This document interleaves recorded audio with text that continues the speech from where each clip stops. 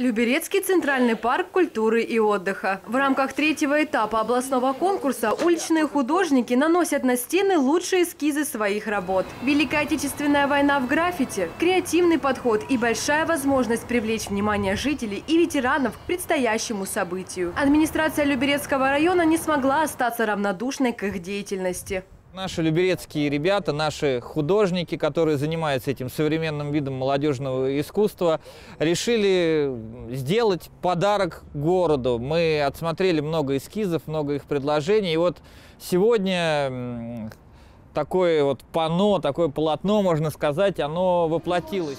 Подобная практика граффити с символикой и фрагментами Великой Отечественной войны в Люберцах уже была. В планах администрации продолжить подобные украшения города. Итоги конкурса подведут 30 апреля. Победителей наградят дипломами Общественной палаты Московской области. Анна Троян, Александр Орлов, Люберецкое районное телевидение.